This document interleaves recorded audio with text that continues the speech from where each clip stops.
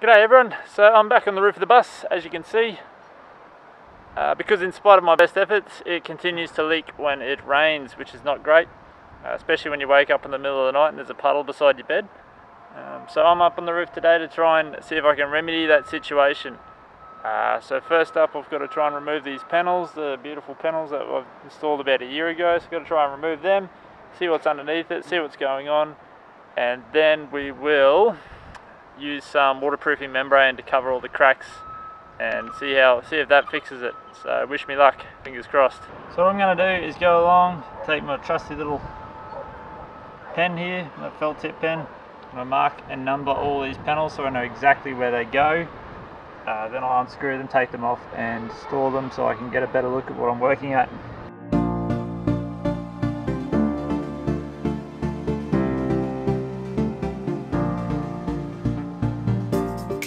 Alright, so that job's done. Uh, this isn't my main point of focus or main point of concern because it doesn't really leak up the front here. Uh, I'm just doing this as an added extra precaution. Our main point of concern is at the back here and I'll show you what I mean when I get down there. Uh, it mainly leaks up the back.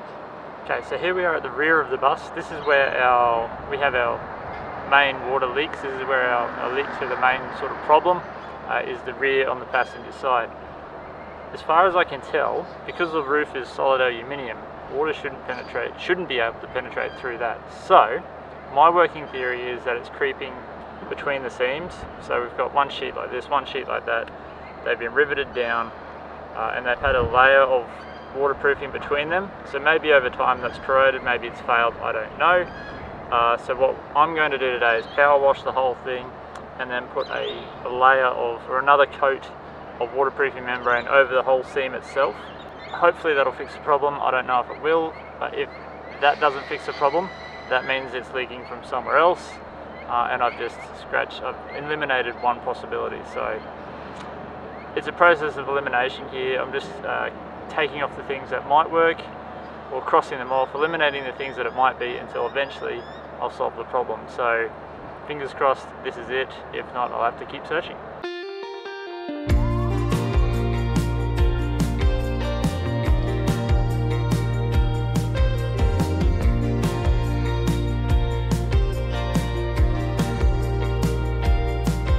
Okay, I got the roof all gurneyed off. Uh, the roof needs to be completely dry before I apply this waterproofing membrane. So I'm probably going to wait for tomorrow and apply it in the heat of the day when it's nice and dry. So uh, we'll do that. Alright, good morning everyone. It's another beautiful day on the roof of the bus. Another beautiful, sunny, bright, warm day. Uh, roof of the bus is dry now so I can start waterproofing. I've got with me some white waterproofing membrane. Uh, behind me there you can't see it but there's some reinforcing fabric, a couple of paint brushes. That should be all I need. So let's get stuck into it, eh? When I think about the way we used to be, when I think about the things you took from me, I know that I am so much better, better. When I look at what I've done, now that we're apart, when I look at So I'll just give you a quick explainer of what I'm doing so you understand and can follow along at home. Uh, if you've ever done fiberglassing, it's a lot like fiberglassing. So initially, I'm going to put sort of a, a thickish layer of membrane down to start with. I'll just do a little bit while I explain this.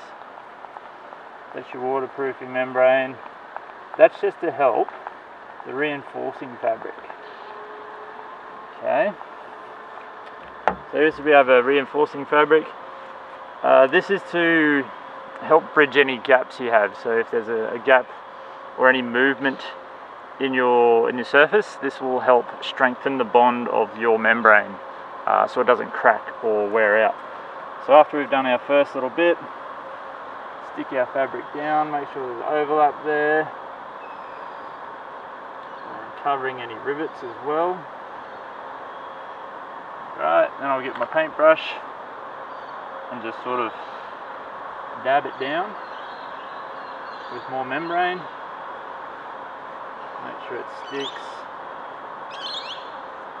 nice and well. Make sure it bridges the gaps and any seams. Like that. Just pushing it down into the membrane.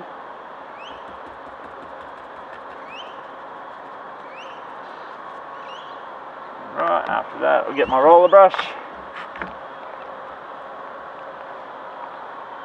Some more membrane over top of that. See how that's lifting? I need to move that further that way to make sure that gap is covered.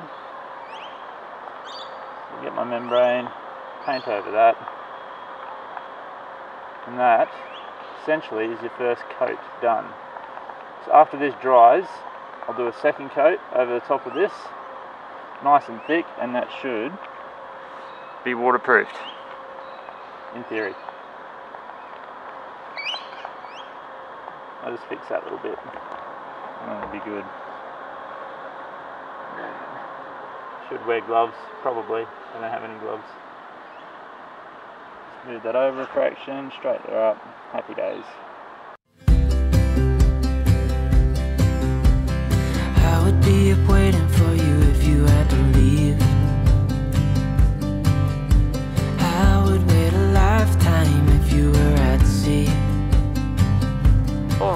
so I've done the first coat of the waterproofing membrane.